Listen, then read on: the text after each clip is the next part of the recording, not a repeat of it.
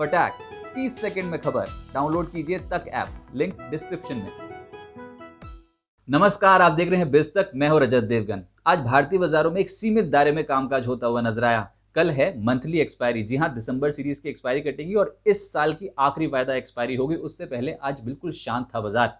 शुरुआत हमने ठीक की 17,220 के आसपास की ओपनिंग उसके बाद 17,285 के लेवल का हाई लगा दिया लेकिन 10 बजे के आसपास हो गई मुनाफा वसूली।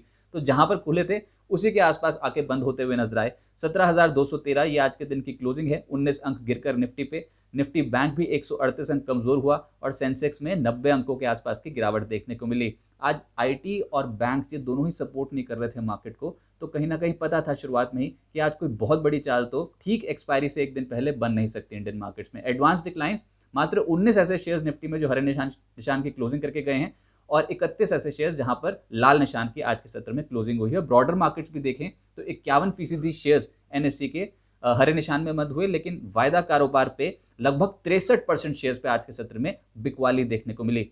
निफ्टी के गेनर्स में आज आप पाएँगे आयशर मोटर्स को, आज ऑटो इंडेक्स से जुड़े जो कंपनियाँ थी, वहाँ पर चाल बेहतर थी। आयशर लगभग साढ़े तीन परसेंट उछल गया बजाज ऑटो तीन परसेंट का रिटर्न डिलीवर कर गया। Sun Pharma Divis pharma sector में ये तेज थे, दो से ढाई परसेंट ऊपर, और इंडसइंड बैंक निचले स्तरों से पलटा तो लगभग पौने दो परसेंट ऊपर।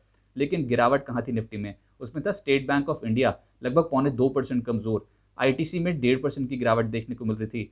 कोल इंडिया, ग्रासिम, ये एनटीपीसी, ये कुछ ऐसे स्टॉक्स जहाँ पर सवा एक परसेंट से डेढ़ परसेंट के आसपास की गिरावट आज के सत्र में दर्ज हुई है। लेकिन कमाल कर गए कुछ ऐसे स्टॉक्स जो अब जनवरी सीरीज़ से वायदा कारोबार का हिस्सा होंगे। इनकी जो भी नाम इस सूची में शामिल था, वहाँ पर आज के सत्र में दमदार एक्शन देखने को मिल रहा था। जनवरी वायदा कारोबार का हिस्सा बनेगा रेन इंडस्ट्रीज़ 11 परसेंट से ज़्यादा का उछाल स्टॉक में देखने को मिला। बलरामपुर, चीनी 5 परसेंट ऊपर। जीएनएफसी 4 परसेंट ऊपर। AB Capital N B C C Honeywell Automation जैसे स्टॉक्स दो परसेंट से तीन परसेंट का रिटर्न डिलीवर कर रहे थे। I D F C Supreme Industries Tata Communication Hind Copper अब जनवरी सीरीज़ से वायदा कारोबार का हिस्सा होंगे। यहाँ पर भी एक से सवा एक परसेंट के आसपास के रिटर्न आज के सत्र में। और एक और ऐसा तबका जहाँ पर आज के सत्र में तेज़ी बनी, वो थी रीसेंट लिस्टिंग्स हाल फ़िलहाल की जो लिस्टिंग हुई, जिसमें सबसे आगे है सुप्रिया लाइफ साइंस, जो कि कल ही लिस्ट हुआ था। लेकिन आज देखिए आप 18 परसेंट के रिटर्न डिलीवर करता हुआ नज़र आया। लेटेंट व्यू एनालिटिक्स आठ परसेंट ऊपर था मेड प्लस हेल्थ सात परसेंट ऊपर डेटा पैटर्न्स और एस जे एस एंटरप्राइजेज जैसे स्टॉक्स पाँच परसेंट से सात परसेंट का रिटर्न डिलीवर कर गए। Go Colours Tega Industries Map My India और टार्सन्स जैसे जो स्टॉक्स थे, यहाँ पर तीन परसेंट से साढ़े तीन परसेंट का रिटर्न आज के सत्र में और मैप माई इंडिया तो लगातार दो ट्रेडिंग सेशन कमाल के बीते हैं इस स्टॉक के लिए। लेकिन सेक्टर्स ढूंढे जाएँगे कहाँ थी तेज़ी आज तो उसमें आप पाएँगे हेल्थ केयर हॉस्पिटल से जुड़ी कंपनियाँ lab testing diagnostic centres pharma, ये कुछ ऐसे तबके थे जहाँ पर आज के सत्र में तेज़ी बन रही थी। लॉरेस लैब्स साढ़े तीन परसेंट ऊपर, अपोलो हॉस्पिटल्स में तीन परसेंट का रिटर्न, लाल पाथ लैब्स लगभग तीन परसेंट ऊपर, Cadila, Sun Pharma, Divis labs दो से ढाई परसेंट ऊपर और थायरोकेयर कमाल कर गया, साढ़े पाँच परसेंट की छलांग। ऐसे ही कृष्णा डायग्नोस्टिक्स ग्यारह परसेंट का रिटर्न डिलीवर कर रहा था आज। फोर्टिस दो ढाई परसेंट के आसपास की मजबूती यहाँ पर भी देखने को मिली। लेकिन ऑटो, जिसमें आयशर मोटर्स तो निफ्टी का ही टॉप गेनर है, साढ़े तीन परसेंट ऊपर था आज, बजाज ऑटो तीन परसेंट ऊपर। इसके अलावा टीवीएस मोटर में भी दो परसेंट की तेज़ी बनी। M R F Amararaja Maruti, Balkrishna Industries, Hero MotoCorp यहाँ पर हल्की तेज़ी के साथ हुआ कामकाज। बाज़ार खुलते ही एक सेक्टर एकदम से कमज़ोर हो गया, वो था मेटल्स हालाँकि दिन के दौरान थोड़ी रिकवरी ज़रूर देखने को मिली, लेकिन ऑलरेडी डैमेज हो चुका था। स्टील अथॉरिटी गिरने में सबसे आगे, दो परसेंट से ज़्यादा की गिरावट इस स्टॉक में। जे एस पी एल दो परसेंट नीचे, नालको, कोल इंडिया, वेदांता, हिंडालको जैसे स्टॉक्स एक परसेंट से डेढ़ परसेंट के आसपास इन स्टॉक्स में गिरावट देखने को मिली। मीडिया में आज सबसे ज़्यादा टूटा डिश टीवी, साढ़े तीन परसेंट नीचे बंद हुआ। पीवीआर, नेटवर्क 18 और जी जैसे स्टॉक्स भी एक परसेंट से लगभग पौने दो परसेंट के आसपास की गिरावट झेल रहे थे और पीवीआर तो लगातार दो ट्रेडिंग सेशन से हम देख रहे हैं, स्टॉक पे बहुत ज़्यादा दबाव आया है। सरकारी बैंक्स या फिर सरकारी कंपनियाँ, दोनों ही तबके आज थे कमज़ोर, जिसमें स्टेट बैंक ऑफ़ इंडिया तो पौने दो परसेंट नीचे था ही। इसके अलावा Union Bank Indian Bank Bank of Maharashtra IOB Canara Bank जैसे स्टॉक्स थे कमज़ोर। और सरकारी कंपनियों में स्टील अथॉरिटी नैल्को जैसे स्टॉक्स कमज़ोरी झेल रहे थे, जिस और आईआरसीटीसी याद होगा कल के सत्र में एक उछाल देखने को मिला था, लेकिन आज हो गई मुनाफा वसूली, पौने दो परसेंट नीचे ये stock oil N T P C H P C L जैसे स्टॉक्स एक परसेंट से डेढ़ परसेंट के आसपास की गिरावट इन तमाम स्टॉक्स में देखने को मिली। बात वही है मिड कैप और स्मॉल कैप कंपनियों पे दाव लगा। मिड कैप गेनर्स में सबसे आगे निकला आज इंडिया ग्लाइकॉल्स 20 परसेंट का अपर सर्किट इसके अलावा रिस्पॉन्सिव इंडस्ट्रीज़ 19 परसेंट ऊपर। एपटेक और सन फार्मा एडवांस जैसे स्टॉक्स 11 से 12 परसेंट ऊपर। ऐसे ही ट्रांसपोर्ट कॉर्पोरेशन ऑफ़ इंडिया एक और स्टॉक जो आगे आया और 11 परसेंट की छलांग लगा गया।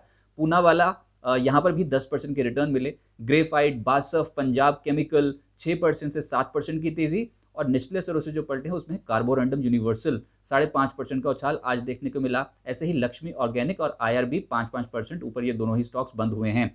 मिड कैप लूजर्स में आज जेके सीमेंट का दिन नहीं था, यहाँ थी प्रॉफिट बुकिंग और पाँच परसेंट नीचे क्लोज करके गया है। मिंडा इंडस्ट्रीज़ में भी आज मुनाफा वसूली देखने को मिली, चार परसेंट ये कमज़ोर। फिनिक्स लिमिटेड, वेरॉक इंजीनियरिंग और टीसीआई एक्सप्रेस जैसे स्टॉक्स तीन परसेंट से साढ़े तीन परसेंट का दबाव झेल गए। और Suntech Tanla platform Timken eClerx जैसे स्टॉक्स ढाई परसेंट से तीन परसेंट के आसपास की गिरावट इन, इन तमाम स्टॉक्स में देखने को मिली। लेकिन स्मॉल कैप्स में आज नंबर आया साइबरटेक का 20 percent upper circuit lock Nureca कमाल कर गया 20 percent upper circuit lock NSCL industries में लगभग 15 परसेंट का रिटर्न डिलीवर हुआ। शारदा मोटर और वेबसोल एनर्जी दोनों स्टॉक्स 10 परसेंट से 13 परसेंट ऊपर थे। इंडोटेक ट्रांसफॉर्मर्स नौ परसेंट ऊपर। मंगलम ड्रग्स भारत रसायन और पटेल इंजीनियरिंग जैसे स्टॉक्स आठ परसेंट से नौ परसेंट की तेज़ी इन तमाम स्टॉक्स में देखने को मिली। बावन हफ़्ते का उच्चतम स्तर एस्कॉट्स ने छुआ है, मेट्रोपोलिस, रेडिको और वर्धमान टेक्सटाइल ने छुआ है। अब आगे क्या होगा? देखिए ऑलरेडी हम बात कर चुके इस हफ़्ते बहुत बेहतरीन तेज़ी हमने ऑलरेडी लोअर लेवल से मार्केट्स में देख लिया। आज हालाँकि एक रेंज मोड देखने को मिली और उम्मीद भी यही है कि रेंज में फंसते हुए नज़र आएँगे। लेकिन अब भारतीय बाजारों पे दाव लगेगा रिज़ल्ट सीज़न का बजट का और अब जब नेक्स्ट सीरीज़ शुरू होगी, यानी कि जनवरी सीरीज़ तो बड़े इंस्टीट्यूशंस के फंड एलोकेशन होंगे पूरे ही साल के लिए। वो भी कहीं ना कहीं एक बहुत बड़ा ट्रिगर इंडियन मार्केट्स के लिए जुड़ता हुआ नज़र आएगा। एफ़ पहली बार कल के सत्र में खरीदारी करते हुए नज़र आए थे। मात्र कैश मार्केट में 207 करोड़ की खरीदारी ज़रूर की हो, लेकिन हाँ बिकवाली पे लगा है ब्रेक और डेटा निकलना बाकी है। अब देखना होगा कि आने वाले समय के लिए एफ़ का क्या रुख होता है। दिसंबर में अब तक लगभग चौंतीस करोड़ की बिकवाली ऑलरेडी वो कर चुके हैं। लेकिन देखते हैं कि जनवरी सीरीज़ में वो लौटते हैं कि नहीं और रिज़ल्ट सीज़न से पहले एक्सपेक्टेशन तो यही है कि वो लौटते हुए नज़र आएँगे। पर फिर भी जो रेंज बनी है मार्केट में उस पर हम कोई भी छेड़छाड़ नहीं करेंगे और ये शॉर्ट टर्म रेंज मार के चलिए आप। कल है वायदा एक्सपायरी और इस साल की आखिरी वायदा एक्सपायरी कटनी है। आप आ, अगर हायर लेवल पूछें रेजिस्टेंस तो रेजिस्टेंस के तौर पे 17,350 17,385 हमने कोई छेड़छाड़ नहीं की। और सपोर्ट के तौर पे भी आज लोअर लेवल जो था 17,150 वो ब्रेक नहीं हुआ। ये अभी तक सपोर्ट की तरह ऐड करेगा। इसके अलावा 17,090 ये दूसरा सपोर्ट रहेगा। किसी भी साइड ही अगर रेंज टूटती है तो उसके बाद ही पोजीशंस एड ऑन या फिर बिकवाले की या खरीदार की पोजीशंस एड ऑन करने की बात होगी।